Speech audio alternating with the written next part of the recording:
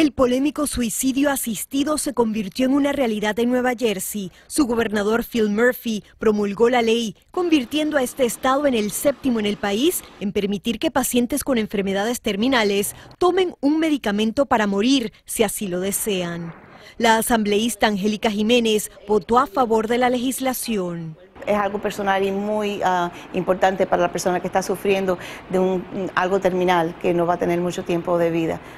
Para mí es algo importante para esa persona eh, que ellos terminen en, a la manera que ellos escogieron.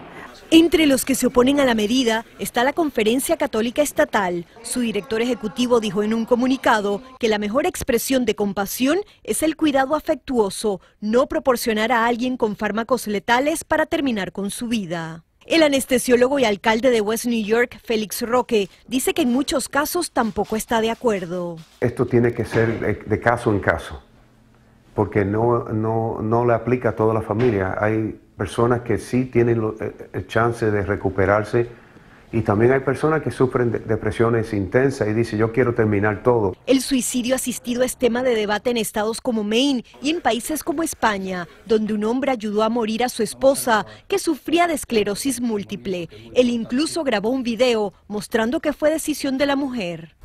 ¿Sigues con la idea de, de que quieres suicidarte? Sí. ¿Quieres esperar algo o que sea? No. No. ¿Quieres que se lleve a cabo ya? Sí.